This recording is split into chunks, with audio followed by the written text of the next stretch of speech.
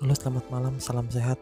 Pada malam ini saya akan memperlihatkan game antara Grandmaster Neverov melawan Grandmaster Zajic tahun 1988 dengan Blumenfeld Gambit. Neverov menjalankan D4, kuda F6, C4, E6, kuda F3, A6, kuda C3, C5 D5 B5 gajah ke G5 B4 kuda ke E4 D6 menteri D3 gajah ke E7 pion D makan E6 gajah makan. Masih ada kemungkinan bahwa pion F makan pion di E6 mungkin lebih baik kita akan lihat selanjutnya. Setelah gajah makan pion E6 gajah makan kuda di F6 pion makan gajah di F6 putih rokade panjang. Benteng ke A7 D3 dimaksud mengembangkan gajah. Kalau di sini udah makan pion di D6 skak. Gajah makan kuda. Menteri makan gajah D6. Benteng D7. Dan hitam menang. Setelah E3. Benteng D7 menteri ke C2 menteri ke A5 raja ke B1 menjaga pion A2 kuda C6 gajah D3 hitam rokade. Pion B3 dimajukan. Menteri B6 kuda ke G3 benteng ke A8 kalau di sini kita menghindarkan pion H7 dimakan oleh gajah dengan H6 gajah ke F5 sangat kuat. Di sini hitam bermaksud untuk melakukan counter attack secepat mungkin.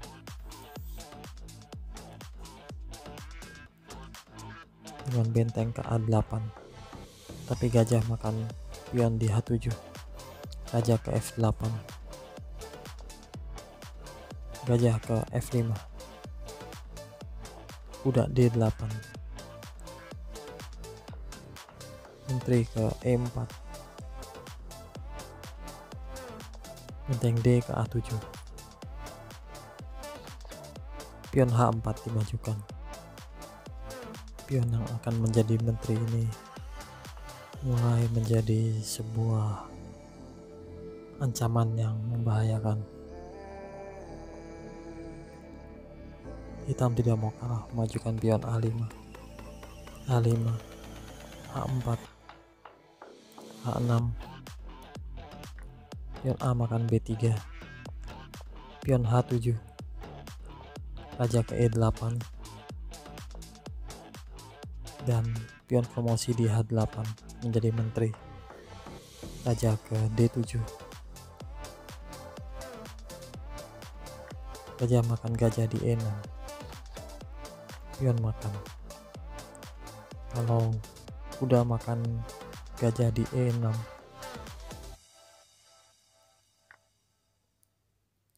menteri H makan benteng di A8 dan putih pasti menang. Oleh sebab itu pion pukul gajah di E6 benteng ke H7 benteng makan pion A2 benteng makan gajah di E7 skak raja ke C8 Raja mencoba makan benteng. Kuda ke F5 raja ke D7 benteng makan pion D6 skak menggarpu menteri menteri makan benteng di D6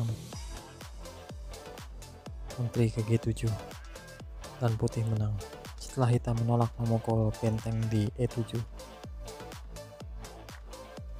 menteri makan pion E6 skak raja ke B8 menteri pukul pion di D6 sekarang hitam menyerah.